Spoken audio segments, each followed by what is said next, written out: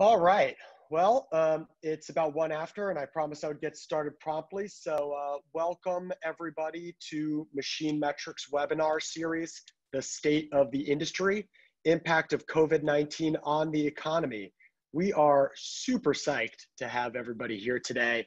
Uh, over 200 people on live, over 500 registrants. Uh, the series is really, you know, uh, even to our surprise, uh, gotten a lot of attention and excitement, and we're, we're so glad to have you here today. Uh, a bit of an, uh, a welcome and an introduction. Uh, the, the coronavirus outbreak has caused widespread concern and economic hardship for, uh, for consumers, businesses, and, and, communities around the world. Uh, the fact is that the situation is, is moving quickly and has widespread impacts. But one thing is for certain, it has and will continue to have global economic and financial ramifications that will be felt and reverberated throughout the manufacturing community. So the question, how does how has COVID-19 affected the near-term global manufacturing economy? How will it be affected moving forward? Uh, how, how do we reshape and build an industry both more sustainable and, and resilient for the future? In times like these, it's never been more important to harness the power of data to inform us of what's happening and more importantly, what we can do to help protect the lives and the livelihoods of communities and industries around the world. Um, in our fourth State of the Industry panel, we'll be exploring these issues using a variety of unique data sets to illustrate the economic impact of COVID-19 uh, pandemic on our world. Uh, for those of you who've come to our previous events, uh, you, you probably know me by now. My name is Graham Immerman, VP of Marketing at Machine Metrics, and I will be your host and moderator today. Uh, but far more exciting than me, we have an amazing group of panelists that I'd like to introduce now. Uh, first, we have Chad Moutray. He's Chief Economist, uh, the National Association of Manufacturers. Chad, thanks for being here. Thank you. Uh, uh, we also have Jerry Foster, who's the Chief Technology Officer at uh, Plex Systems. Jerry, thanks for joining us. Thank you so much. And from uh, the machine metrics side, we have Lou Zhang, who's our Chief Data Scientist uh, for Machine Metrics. Lou, thanks for being here. Great to be here, Graham. So a quick review uh, of our agenda. We're going to do a brief introduction followed by company presentations, and then we'll have a live discussion as well as a Q&A um, and, and talk about what's, what's coming next. Before we get started, this webinar is being recorded. Uh, fear not, uh, we will send out a link with the recording after this webinar uh, in an email, uh, usually within the next 24 hours, but don't hold us to anything. Uh, we'll do our best. Uh, questions are, are not only welcome, but are encouraged. Please use the Zoom Q&A section in the navigation to ask a question at any time to our panel and panelists. We will do our absolute best to get to those as, as quickly as we can. Uh, but um, but uh, we also have a number of other questions and we expect a lot of them. So uh, do not be shy.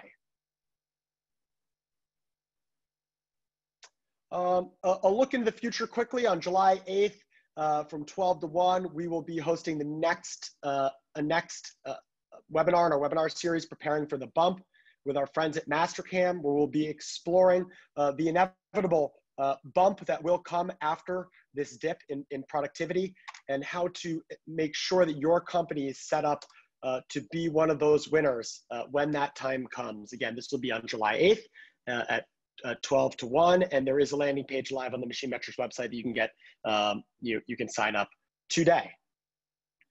Uh, at this critical time, uh, we are also happy to continue offering our support to all manufacturers and, ma and manufacturing efforts contributing to the fight against COVID-19. Uh, we're offering free access uh, to the Machine Metrics platform and our consulting services uh, to any company involved with the production of ventilator parts, test equipment, protective equipment, or any COVID-related manufacturing support. if you're interested in learning more about our response program, please visit www.machinemetrics.com slash COVID 19 dash response. Okay, as promised, uh, for those of you that, that don't know us, uh, I'm here just to provide a little bit of background and then we're gonna get to the, uh, the reason why you're all here today. Uh, uh, machine Metrics, we are manufacturing's industrial IoT platform for machines. Uh, Machine Metrics is accelerating industrial digital transformation by providing an intuitive and flexible platform to easily collect data from any piece of manufacturing equipment uh, and transform that data into powerful, actionable applications that reduce your machine downtime, uh, optimize your capacity utilization of your equipment, and drive increased throughput and profitability for factories. Uh, right now, uh, hundreds of manufacturers have connected thousands of machines uh, to the Machine Metrics plas- platform across global factories.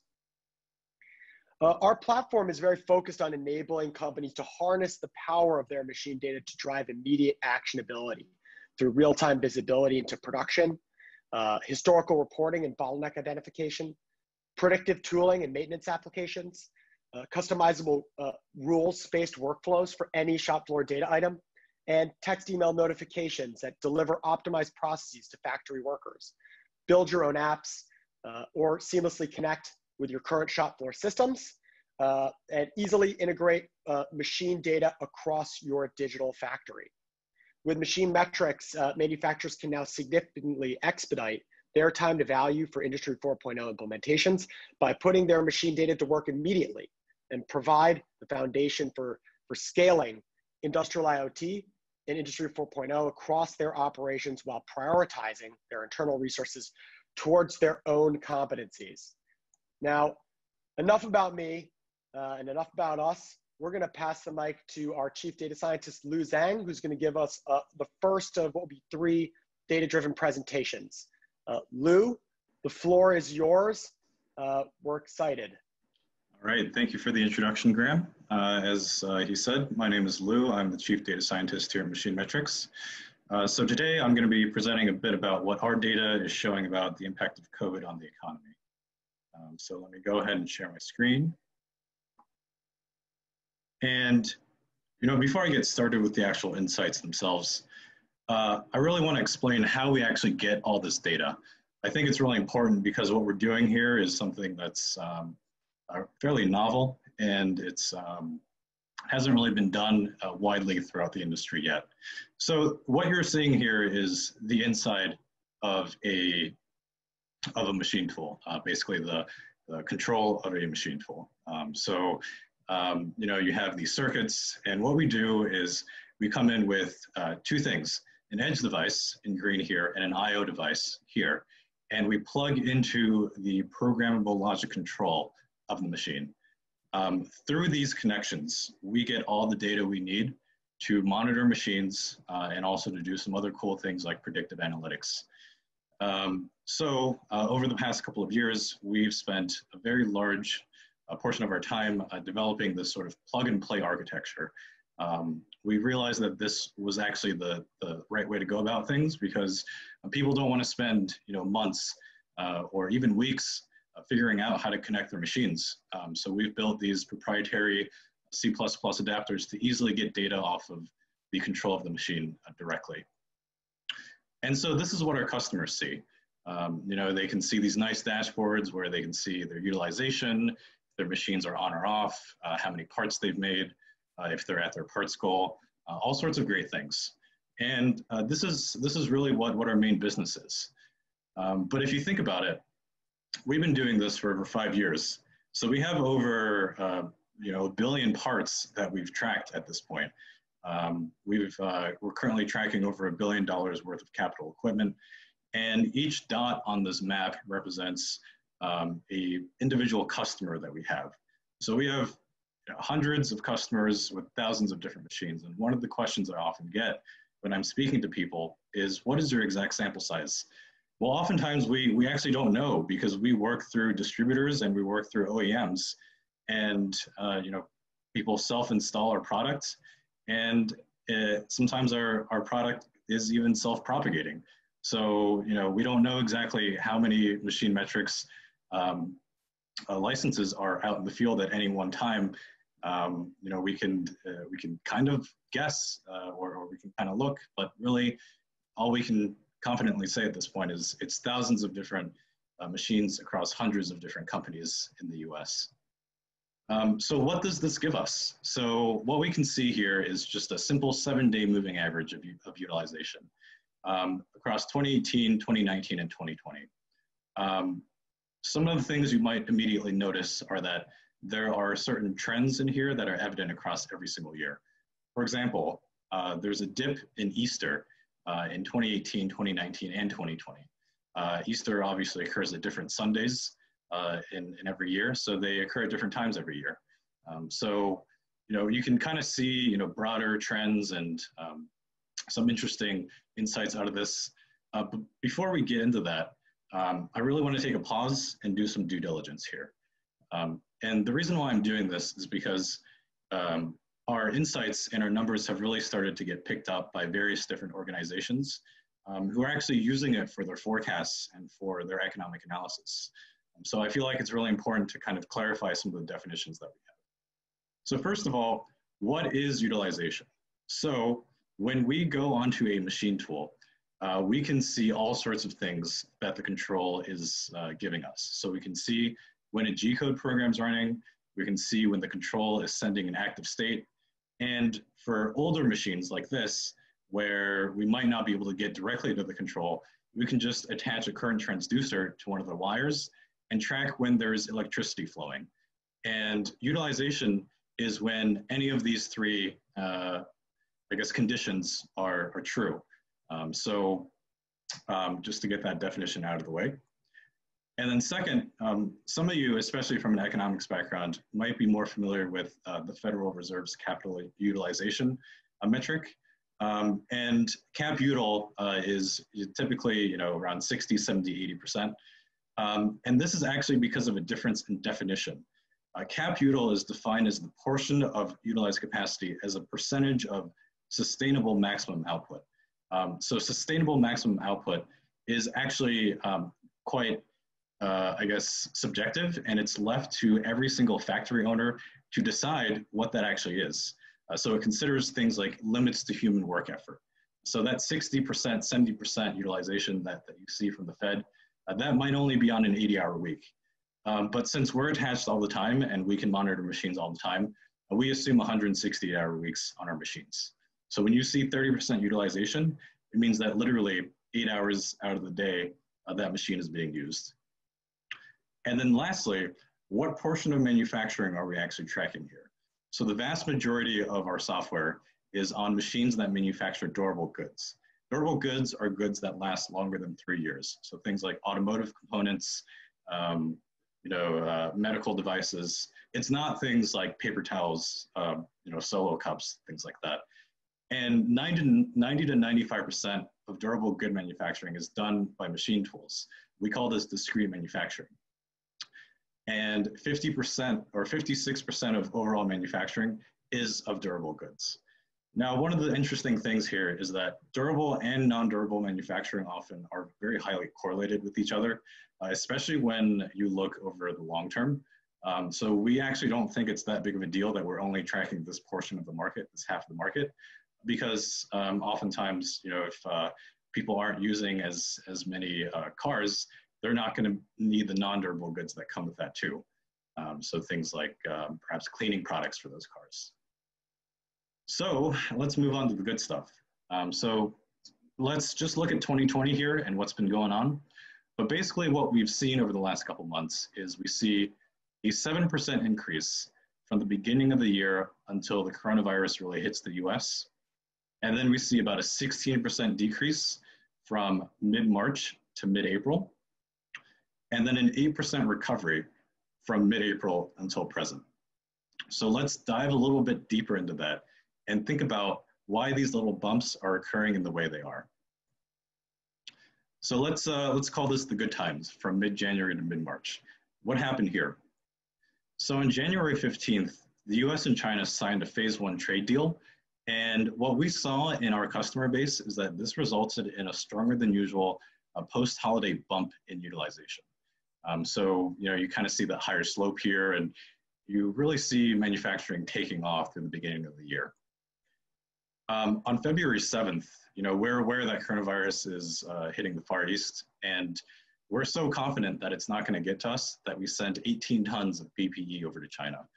Um, our customers internally are reporting increased orders due to Chinese factory shutdowns. causing this uh, sort of acceleration in utilization that you see here.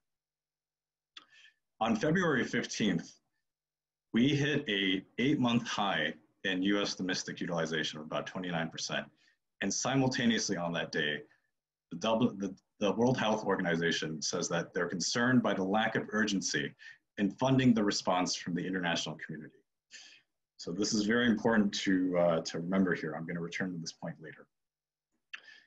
And on March 11th, unfortunately, um, you know, we can't hide forever from, from pandemics. Uh, the global pandemic is declared officially by the WHO, and US domestic utilization immediately reverses direction. So now we get to the bad times. What's going on here? On March 16th, cases outside of China outnumber cases inside of China. We see in our customer base that shutdowns really start to begin in force. On March 19th, there's a severe shortage of PPE reported by the New York Times. And we see our customers continue to shut down, continue to slow down because they can't operate uh, without this protective equipment. On April 1st, this is really the height of the actual pandemic itself. There's a weekly doubling of global cases. Um, some of our customers actually retooled to help make ventilators, accounting for this you know, slowdown uh, of, uh, of um, decrease a little bit. But as we all know, that can't last forever. By April 15th, uh, 40 states have declared stay-at-home orders, and paired with the Easter holiday, US domestic utilization really hits a low point of about 21%, which is a substantial decrease from the 29% that we discussed earlier. So where, what regime are we in now? So from mid-April uh, until present, there are some really interesting things going on. So you know, overall, there's an upward trend, uh, but there's, uh, there's a lot more to this. So on April 16th, the Trump administration re reveals a reopening plan. And, you know, our, our customers, what we see is they, they start to begin staggered shifts, which means they're not operating at full capacity, but they might, um, you know, start having some machines on that weren't on before. Um, on May 1st, uh, the World Economic Forum officially recognizes that there's severe supply chain disruptions. Raw materials um, and consumer markets are garbled at this point. Um, just like you can't get your beef from Wendy's anymore, our customers couldn't get their, um, you know, raw bar stocks uh, from whatever source they were getting them from before as well. And uh, demand has also collapsed on the other side. So it's it's an uneven recovery. You know, it's it's not like it's it's just going to reopen and, and we're going to take off. Um, on May 25th, the dip you see here is Memorial Day. Uh, customers on that day have about 3% utilization on average. Um, and I wanted to put this here because it really demonstrates the effect of just one day on uh, rolling utilization. Um, you know, that's what this dip is coming from right here. And on June 21st, um, you know, just a couple days ago, 90% uh, of states are now basically reopened. Uh, they allow uh, businesses to do um, basically personal care businesses like spas and salons, retail, malls, restaurants, and bars. For the mass, vast majority of the country, um, this is the economy has essentially started to reopen at this point. And really what we see in our customer base is about half the utilization lost during the pandemic is recovered at this point. So this was really interesting to look at, but what's more interesting to look at is perhaps some breakdowns of our data. Uh, so remember, for every single one of the machines that we're attached to, we know what location it's in. Um, and so we can do a regional breakdown, and we do see regional variations. You know, we can overanalyze this all we want, but I really want to point out two things here. The first is that, as we all anecdotally know, uh, shutdowns in the Northeast are the longest and most strictly enforced. Uh, we see that in our customer base. Our customers in Massachusetts, New York, um, really see hard shutdowns and, and reductions. Uh, there's um, less flexibility about what an essential business actually is, um, longer shutdowns, and that's reflected in this, uh, this uh, very steep decrease in utilization that continues uh, really through the beginning of May. And then secondly, in our current uh, state, what we can, or in our current you know, time state, what, what we can see is that Southern and Midwestern states are really leading uh, this increase in utilization. Um, when we talk to our customers in Tennessee, Florida, Texas, uh, they're all seeing very strong reopenings. And that's what you see with this um, very strong acceleration and upward slope in the South and, and the Midwest. In the Northeast and the West, um, you know, we're being a little more cautious here, and that's reflected in, in the data itself. So what if we break this down by industry? Um, so for this, we reached out to our friends at AMT. You know, it's not as clear cut exactly what industry each one of our customers is in. Um, so we, we reached out to subject matter experts there. And, you know, we, we have a pretty good uh, idea of what distribution our customers fall into.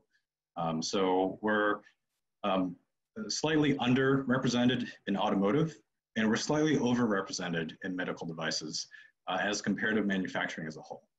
So that's just something uh, good to keep in mind as we look at the data. So again, we could overanalyze this all we want, but two things I really want to point out here are that automotive collapses uh, by about 40%. Uh, I read somewhere that demand for cars has gone down by something like 90 or 95% in the US. And this is reflected all the way through the supply chain. And then secondly, we actually see a slight increase of medical device manufacturing throughout the pandemic.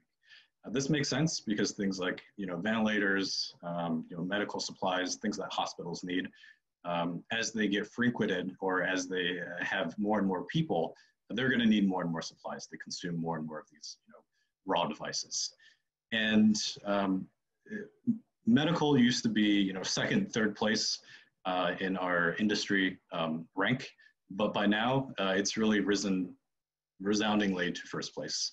And I think this is just a, very clear reflection of, of the times. So why is this data useful? You know, you know, we can present all of these interesting things about our data, but what actual utility does it have? So what we've heard is that the most useful uh, use of this is that it actually anchors conversations in reality. So if we're showing a negative 17, 16% a decrease in utilization, but a VP of sales is uh, forecasting, you know, 50% decrease in in utilize in uh, in sales, there's a disconnect there, um, and so you can kind of you know check that with actual data. Um, we've talked to VC firms who say that when they go in and evaluate uh, machine shops to buy, um, oftentimes people claim 60, 70% utilization. But really, when we show 30, 35, you know, 25% utilization, uh, that's a more realistic number. And when it's backed up by our methodology and the way we actually collect this data, uh, oftentimes that's um, a, a more rigorous approach to evaluating the actual utilization figure for the industry as a whole. The second use case is that um, it serves as an alternative source for economic benchmarking. Um, other sources of data are currently broken. Uh, the, New, the New York Times reported on this back in April.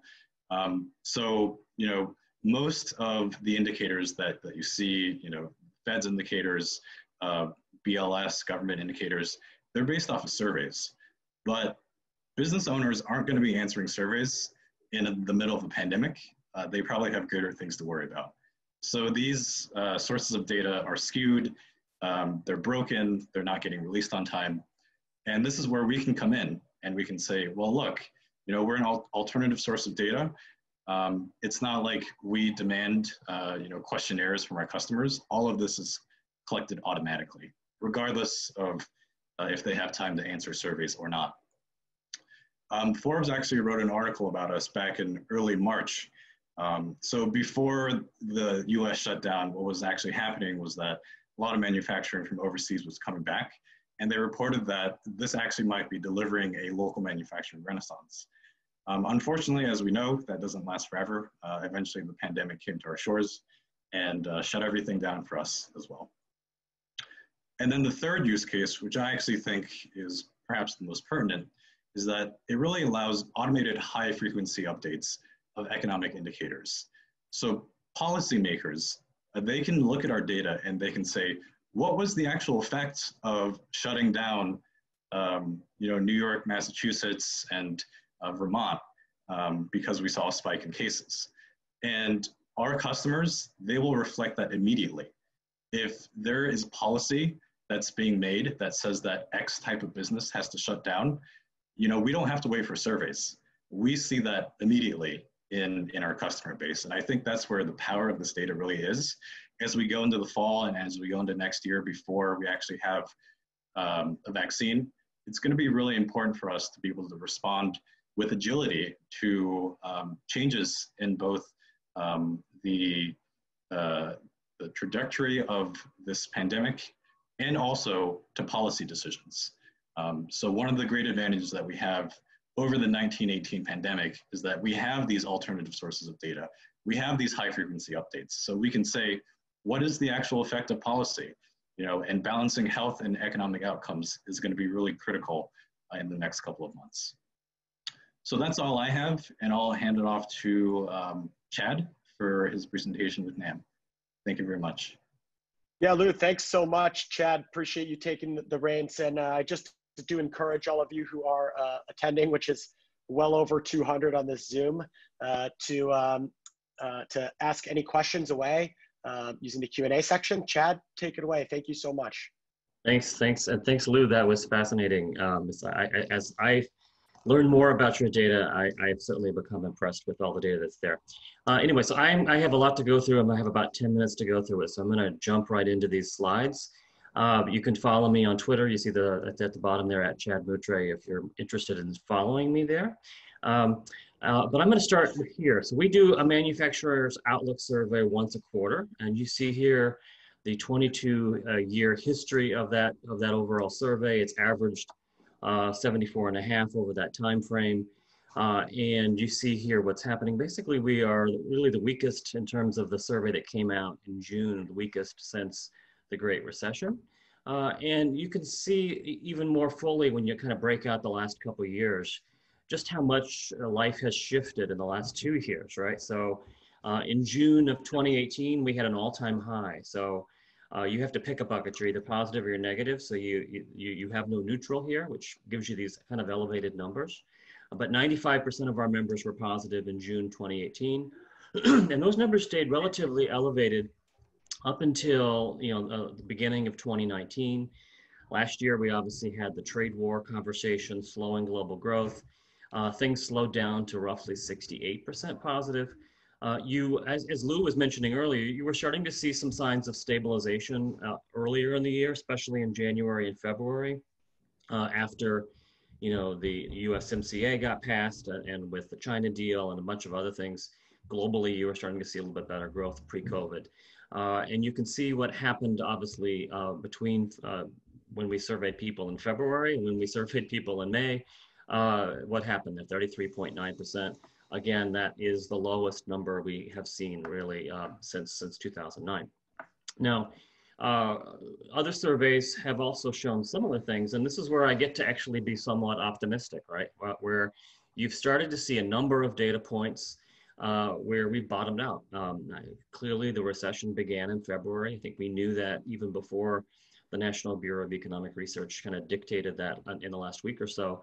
Uh, but in my view, we've actually already passed the trough, right? We've uh, so this could be, end up being one of the deepest uh, recessions we've ever had, but also one of the one of the shortest, right? Um, and so you're starting to see signs of, of, a little bit of a rebound, and this shows you the ISM data through May. Um, uh, and, uh, you know, clearly we're still in contraction ter territory in May, but the, the rate of growth has slowed pretty, pretty dramatically. And you see, you're going to see a lot of graphs that look exactly like this one. Um, and, and, you see that in, in particular when you look at the overall manufacturing production data. Again, look, really two really bad months of declines, 5.3% manufacturing production decline in April. Uh, uh, and then, excuse me, in, in March, and then 15.5% in April. Uh, and then you had a little bit of a rebound. Uh, uh, this number actually, when if you remember last week when it came out, there was a lot of hemming and hawing over, you know, we didn't rebound fast enough, right? That, was, that people were expecting a stronger rebound in the month of May. Uh, but I, I, continue to expect those numbers to, to kind of come back uh, as you move into, into June, especially as more production comes online. Uh, and you see again, when you look at the year over year growth rate numbers, uh, again, just how bad things got. Uh, certainly if you're in the durable goods space, you had roughly a 28% year over year decline. In April, that came back up a little bit to, to uh, roughly 23 to 24%. Uh, but still, those are significant declines. Now, I, am going to say all this to say, yes, we're seeing a rebound, uh, but there's also clearly a long way to go. Uh, in Washington, of course, uh, when we got the jobs numbers and we got some of the other data points that I'm, I'm talking about, there has been an emphasis from a lot of policymakers saying, well, we don't need to do anything, obviously, given that the economy is already on the, on the mend, right? It's already bouncing back. Uh, and, and, it is true the economy is bouncing back, but, but this chart and some of the others will show you that we still have a long way to go, right? So this is showing you manufacturing production and capacity utilization really over the last uh, 12 years, I guess, in this case. Uh, you can see, obviously, we got below where we were in the Great Recession here in terms of some of these measures. Um, and we have a long way to go before we get back uh, to where we were. In fact, I'm quoted in the press as saying, I don't think we'll be back to full our pre-recessionary levels of production until at least 2022. Sorry. So yes, we're coming back, but it's going to be more of a swoosh uh, shape of recovery rather than a V, which uh, is kind of becoming prominent. The other thing to note here is that even with the rebound we had in May, you have some sectors here. This is all 19 major sectors. Notice none of them uh, on a year-over-year basis are positive, right? They, they all are seeing declines on a year-over-year basis. Uh, the worst, obviously, being motor vehicles. Again, most motor vehicle productions uh, sh shut down for, for several weeks at least, uh, and are just now coming back online. So we're going to continue to see growth there as, as those uh, as those factories continue to open up. Uh, but again, across the board here, some really significant kind of jaw-dropping levels of, of, decline in manufacturing. Again, we're going to see greater data. You know, as, as you move into June, these are going to improve, but but still a ways to go. Uh, turning globally, and I won't, I don't have enough time to go through all of this. I write a Monday economic report that many of you probably get. Uh, if you get the Monday, you get my global, which comes out once a month. This shows you the top 10 markets that we sell into and every market except for China was, was contracting uh, in the month of May. Uh, we've seen some of the preliminary data that have come in, including this morning, are showing uh, some continued progress there. And so this is this is a chart that I actually updated this morning. And so yeah, again, if you're following me on Twitter, you probably already saw this one. Uh, again, a little bit of a V shape here. You're seeing some stabilization uh, in terms of some of the sentiment measures. Uh, this one is for the US.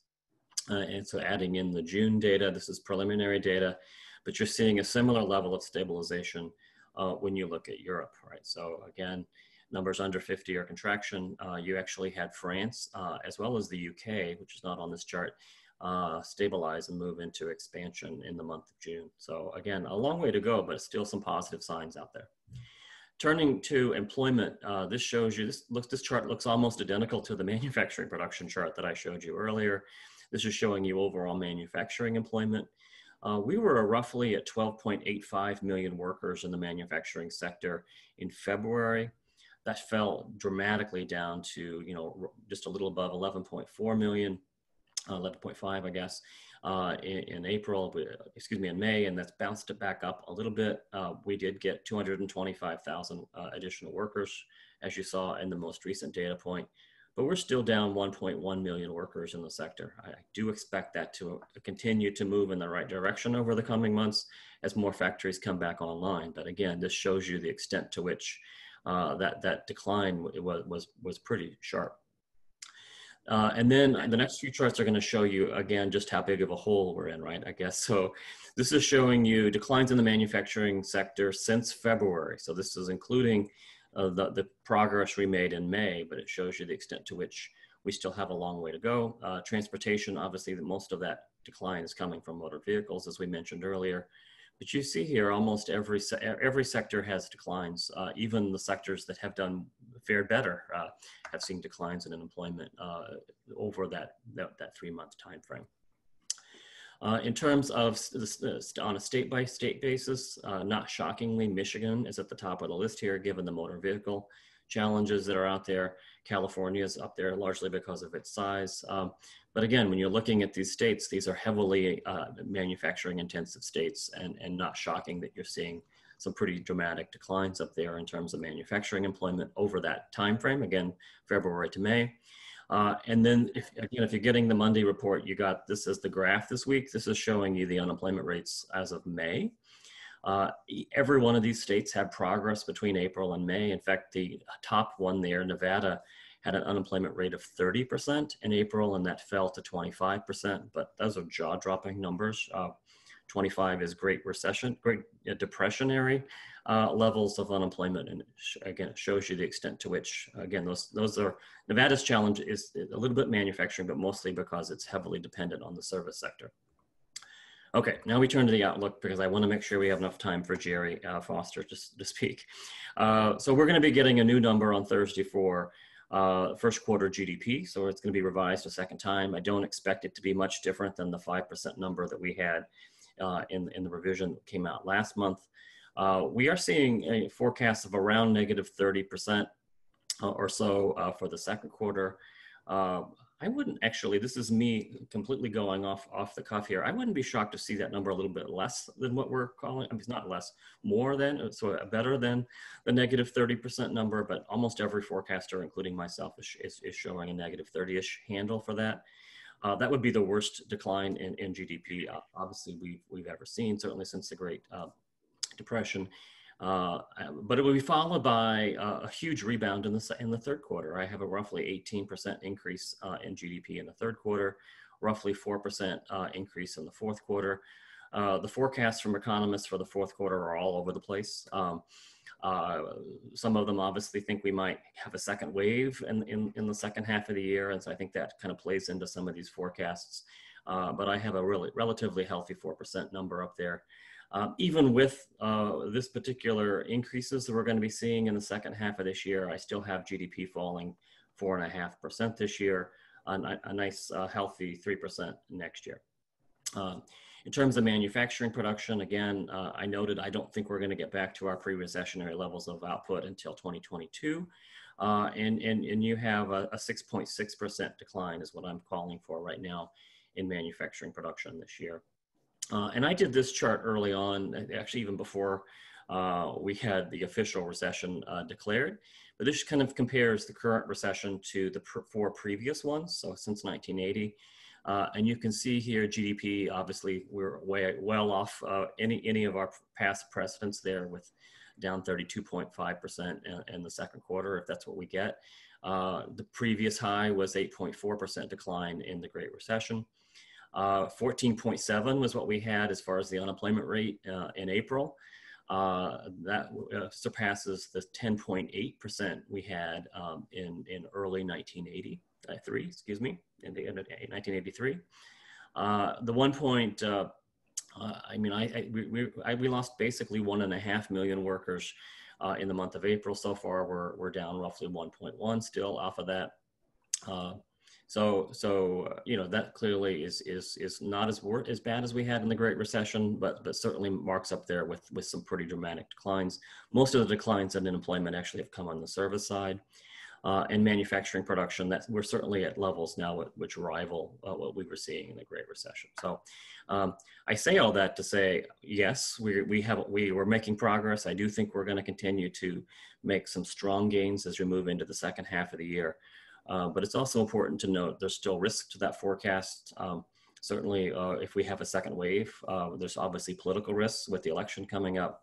Uh, and and, and you know, we obviously dug ourselves in a hole and we still have a long way to go. Um, that was encouraging, right? I don't know. Was that encouraging? Uh, yes, it's it's I, I glass half full. Uh, but but even even I can't gloss over a, a minus a twenty percent GDP over three three straight months. So. Oh, excuse well, me, in, no, in industrial production, sorry. Chad, that was amazing, and, and you know, and the, the thing is, uh, you know, the, the data doesn't lie, right? There's there's no manipulation. It's just it's just the the cold hard numbers. Uh, but I think that uh, you know part of this, right, in this webinar is is is driving people towards what they can do with that data, right? And I think uh, by democratizing it, making it available, right, uh, you can uh, you can transform that into opportunity um, and and, uh, and and value, right? Uh, so thank you so much. That was amazing. And a quick note before I introduce Jerry. Um, obviously, each of these presenters could probably spend at least an hour um, doing their own presentations. Um, you know, so with that said, um, uh, no pressure to our presenters, uh, but Lou and I uh, will be able to stay a few months, a few minutes over, um, you know, well, to answer some some questions. Um, but um, for now, let's pass the mic to Jerry. Uh, and, and, thank you so much uh, for joining us. Excited for your presentation. Thanks so much, Graham. I, am privileged to be in the, the company of such esteemed and, and well-groomed panelists. It's a, it's a, real pleasure to be here. So um, I'm going to uh, share my screen.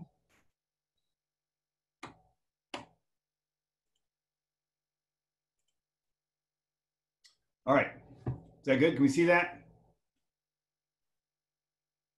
All right. So, um, uh, as you've heard, my name is Jerry Foster. I'm the CTO and co-founder of, of, Plex Systems. Um, I've been involved in, in, manufacturing my entire career, 30 years.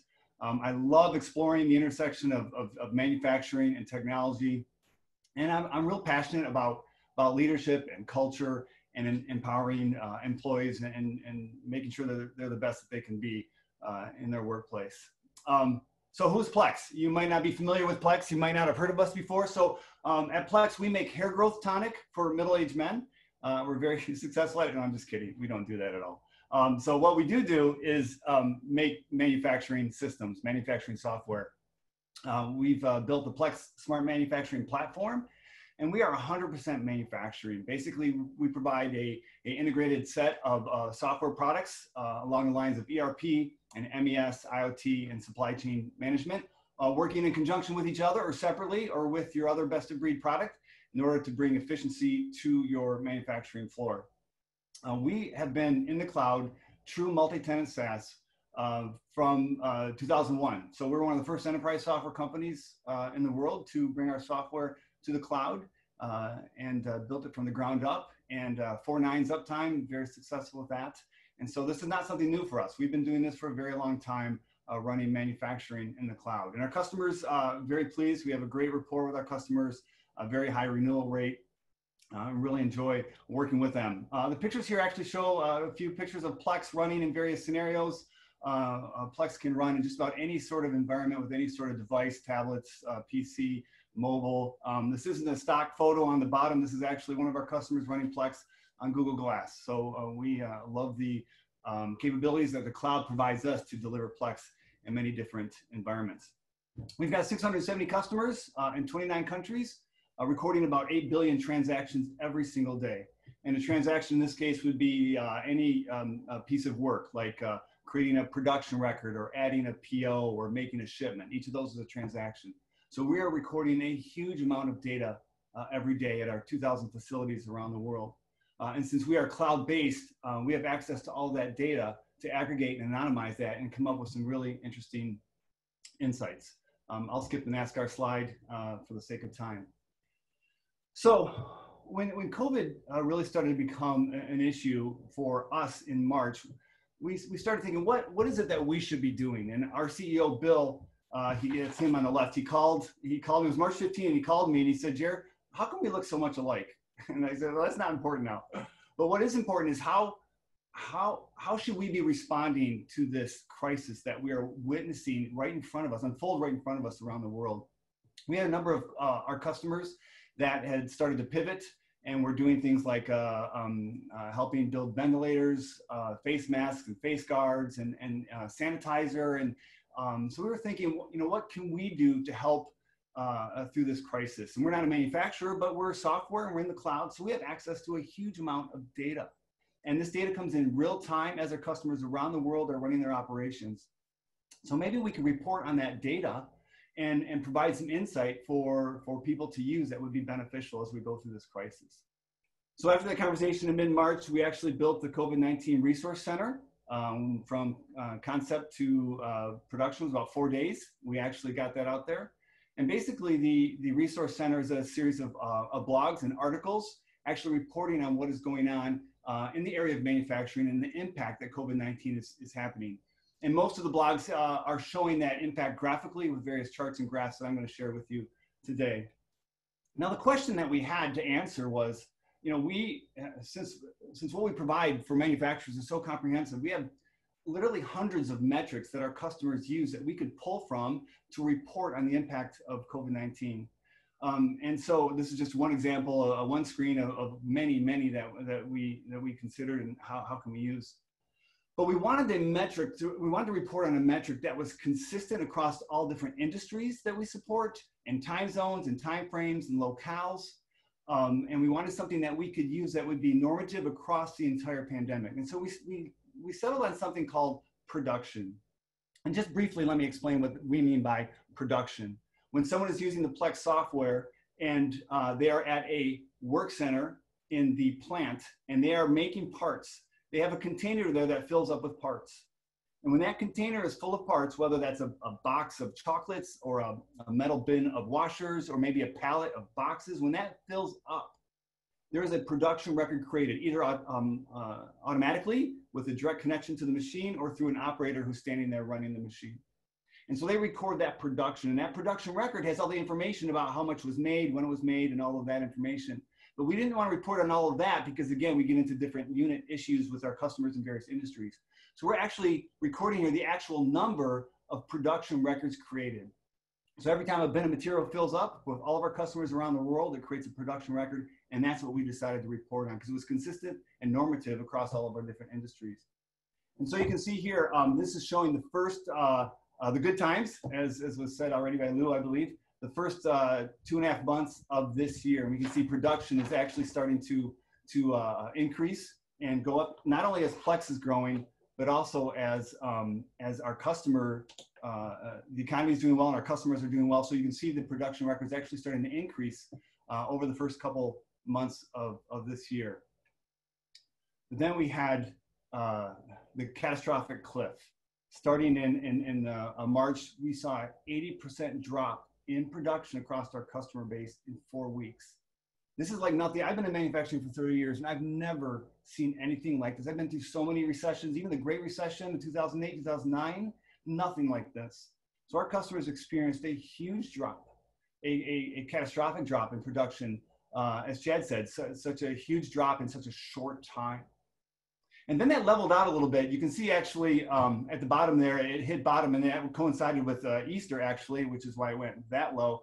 But then there was a, about a month where just some very basic essential manufacturing was going on, but for the most part, uh, making it through that trough was very difficult for our customer base as production had basically fallen off a cliff.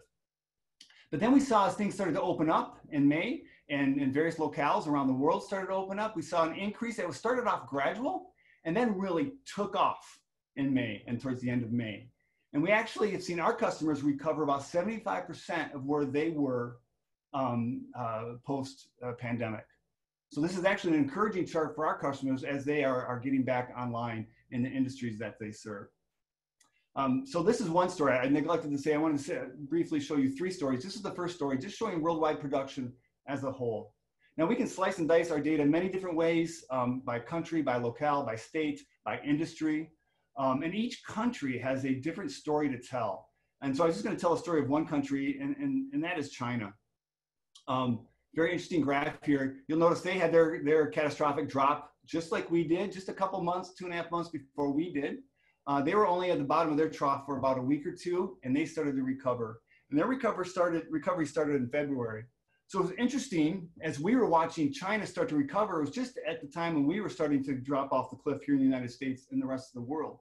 But we were looking to China as a model for perhaps how we could recover as well. So we were using China as a model, and it was interesting to see them continue to increase. But then you'll notice something happens here, which is really fascinating. Um, there's a national holiday there at the beginning of um, May um, uh, for that accounting for that dip. But their recovery has stalled at about 50%. So you look back at my previous chart with the worldwide production showing we're 75, almost 80% back worldwide production, but the China levels for our customer base is at 50%. And I think what we're seeing here is actually a, a um, indicative of what our customers are telling us, and is that they are using this time to um, reconsider the supply chain, um, reduce their dependencies, bring things back uh, uh, onshore, bring things back closer to their facilities. And that's, I think, what we're seeing right here. And actually, you see the last six weeks or so, production in China has actually decreased from, from their high there in, in, in mid-May. Um, for the sake of time, I'm just going to plow through this. That was a quote from uh, Kearney about uh, reshoring. The last story I want to quickly tell is, is based on industry, and and what we're and I'm going to look at we're going to look at the data a little bit differently here. And and and what you're seeing here is just a, a cross section from a much bit bigger graph, and each orange blue bar pair is one Plex customer. The orange bar shows what their average weekly production was pre-COVID-19. And the blue bar shows what their production was for the week that you see there, April 27th, which is right in the bottom of that trough. All right. So you can see for automotive, our automotive customers, they were practically um, just obliterated, except for a couple of exceptions. Uh, customers that supporting the trucking industry and other industries that were still um, uh, going. For the most part, automotive was just obliterated there in the middle of the, uh, the middle of the pandemic. But then you can see what happened. This is the same graph, same customers uh, production uh, uh, from last week. And you see how most of them are back to their, uh, almost to their pre-COVID-19 levels. And some of them are going like gangbusters trying to make up for last time. And then I want to com compare that briefly to food and beverage. This is the same type of ch chart for our food and beverage customers, but this is also in the middle of the pandemic, but you'll notice something very different from automotive.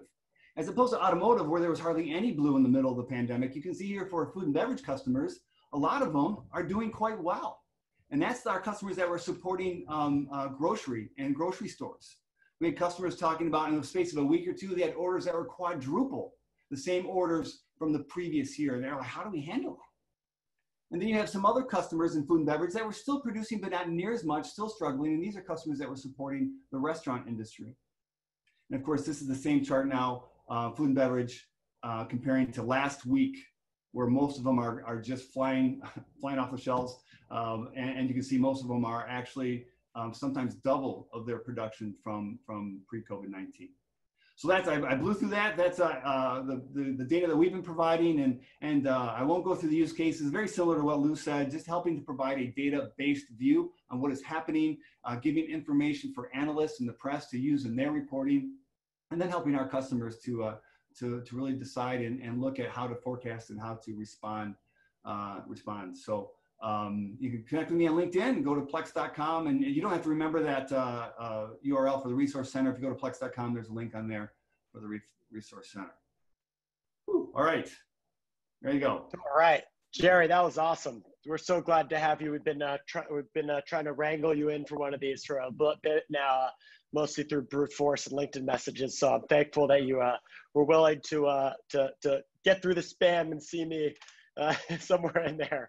Uh, that was awesome. Really, everybody did such a great job. Um, uh, and just for our, uh, we still have over 200 people here, um, and you know, so we're moving into the discussion phase. Uh, our our um, our panelists um, are not required, but um, have been nice enough to extend this conversation a little bit. If anyone does need to log off on the panelist side, uh, we, we totally respect that and, and we'll stick around as long as we can uh, to answer questions. But in the meantime, just to, to kick things off, uh, you know, starting, starting with Chad, uh, you know, and then I'll, I'll kind of move around. Uh, you know, how has COVID-19 changed you know, the future of the manufacturing economy?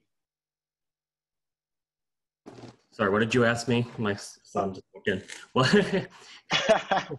no problem. Uh, uh, you know, one of our first questions that we've had is, you know, how will COVID-19 change the future of the manufacturing economy?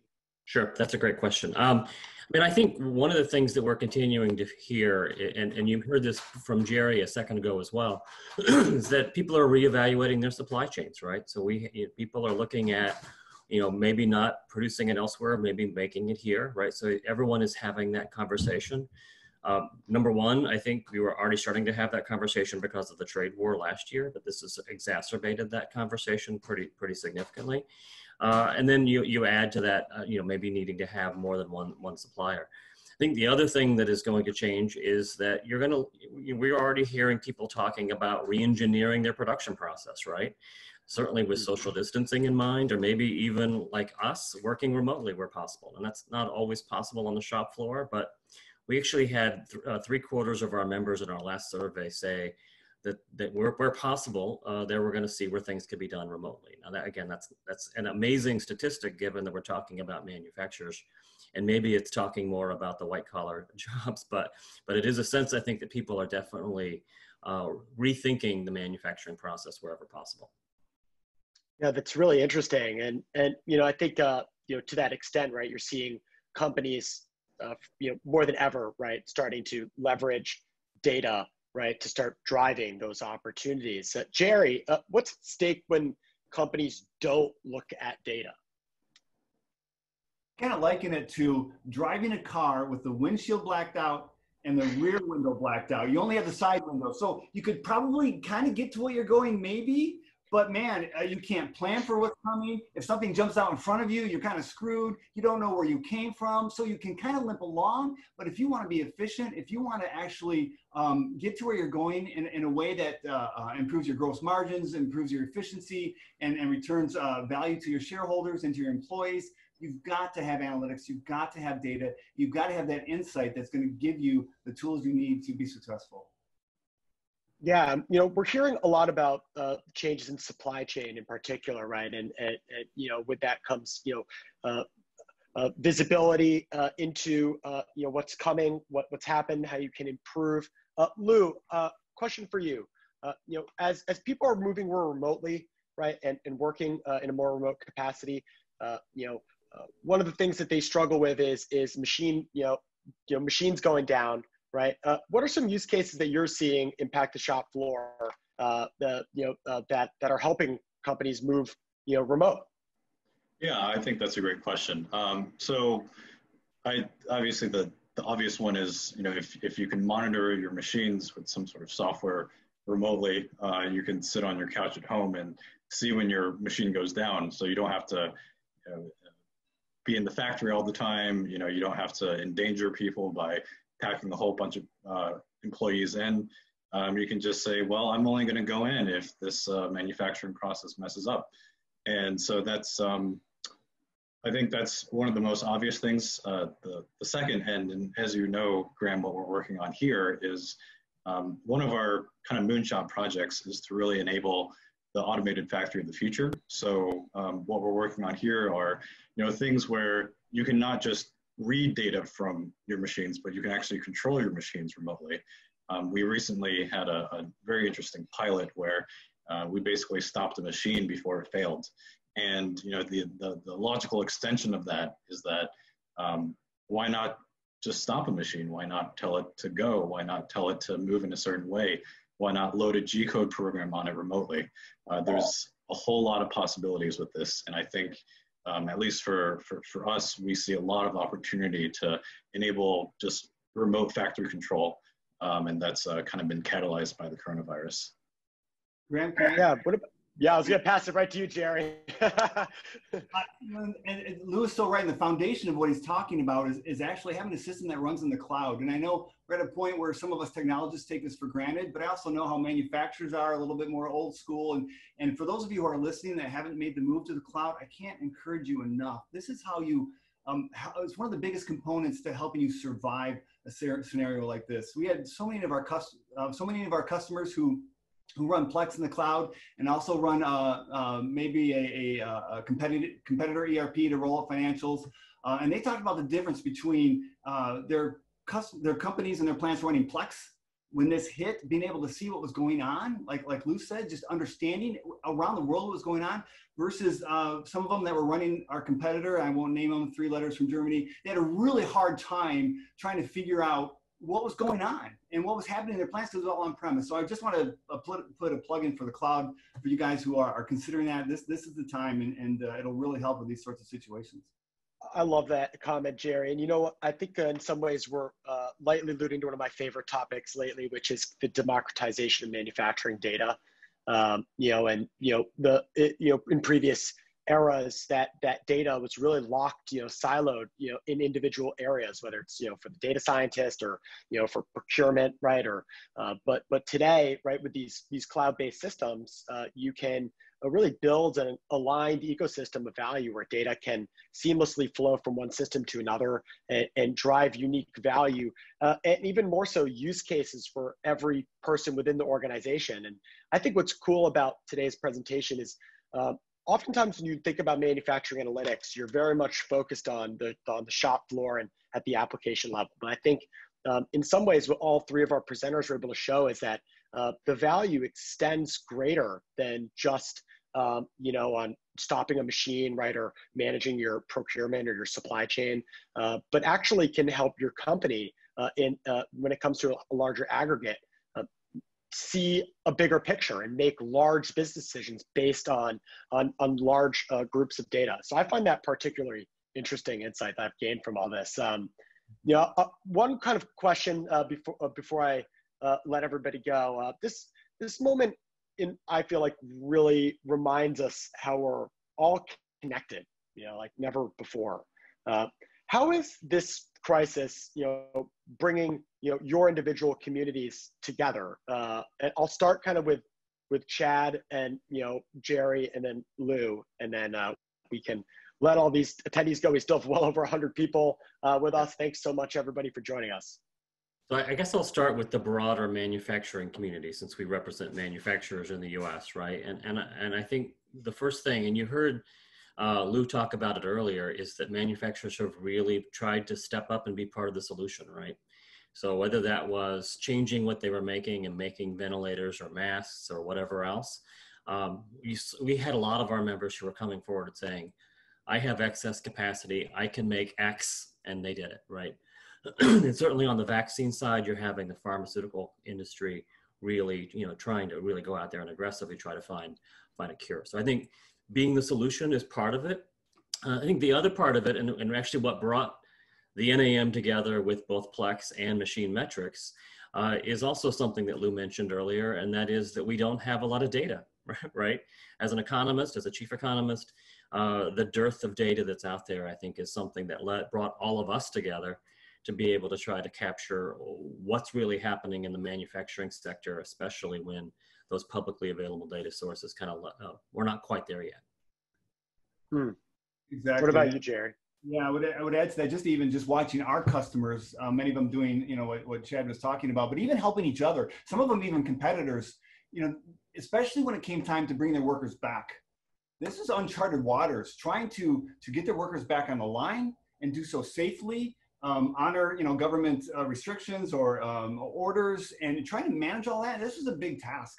And watching them in our community, when we have provide forums for our customers to get together and talk and chat and watching them help each other and, and provide documents to each other and ask and answer each other questions. And, and we had one customer that built a, a screen with our, our internal screen builder for our application. And they shared that with the rest of the cu customers on a, on a survey that you would ask your, your employees when they came back to work. And so just watching them come together uh, and figure out how to get things back going again was, was really cool to watch and, and kind of just uh, be a part of. That's awesome. Yeah, so um, I guess the, my, my answer is going to be two, twofold. So the first pertains specifically to manufacturing, which is, you know, echoing what everyone else has said. Like our customers have literally come to us and been like, well, you guys see best practice manufacturing across people who usually produce ventilators. You know, tell us more about what what what they're doing. You know, can we can can you put us in touch with them? And I think that's a real way for uh, the community to come together and you know help get us out of this crisis. Um, you know, manufacturing is the genesis of all physical goods that you see. Uh, anything that's not you know natural or you know organic, basically, uh, manufacturing makes it. So manufacturing is going to get us out of this. Uh, manufacturing is going to be able to make all the parts that are going to enable us to emerge from this pandemic uh, through technology, through um, you know building the tools that um, and the, the the structures, the, the goods that are going to help bring us uh, uh, out of this, um, this debacle that, that we're all in. And then second, um, you know, the wider community as a whole, uh, what I see is that, um, you know, we're, we're fighting an invisible foe. You know, it's not like it's World War III and we're, you know, at war with like Russia and, and you know, other economies and things like that. This is very different. We're, we're fighting something that we can't see. And because of that, that has really created um, uh, good things and bad things. So, so the good things are that I see a lot of people doing more work uh, for for for pro bono. Frankly, you know, it's it's not like people are just charging as much as they can to get as much um, utility for themselves and as much profit. I think there's a lot more charity coming through now.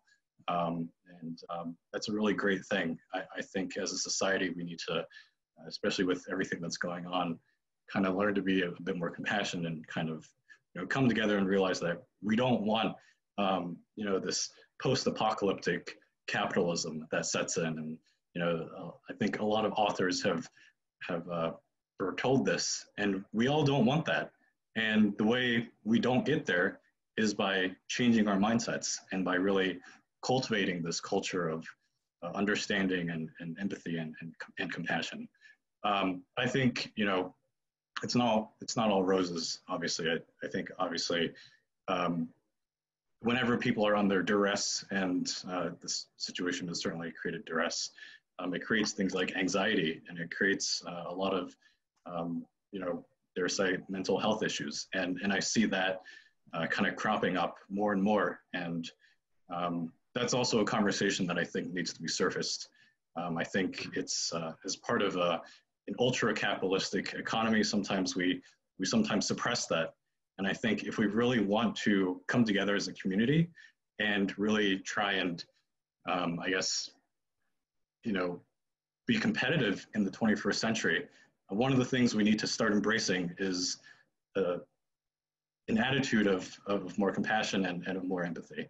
Um, so, you know, all these things, all these things are, are coming to play. And, and I think this pandemic has really accelerated a lot of these trends. I think it would have gone this way eventually anyways, um, you know, maybe in another 10, 20, 30 years. But all these problems uh, are kind of surfacing ahead of time because of that. Um, so that's, that's kind of my take on this whole situation. Wow, thanks, Lou. That was that was really cool. Um, I appreciate the multi-layer uh, response, and yeah, I think one thing is for certain, right? Um, uh, I I think that you know we can all be more well informed uh, by by by coming together and sharing data like we did today, um, and and I think that you know in doing so, uh, companies you know like Plex, Machine Metrics, NAM, we um, we have an obligation in times like this to to support our communities and provide uh, anything that we can, right, to help um, our industry uh, drive forward. So, um, so I just want to thank uh, Jerry and Chad and Lou for the amazing time. What a what an incredible uh, webinar. Uh, over 100 people still here, even 10 minutes late. Um, you know, about 300 at our highest point. Thank you all for joining us. Uh, we look forward to our next in the series, um, and you know, we wish everyone a safe and successful uh, you know uh, coming months. So thank you so much, everybody. Thank you. Thank you.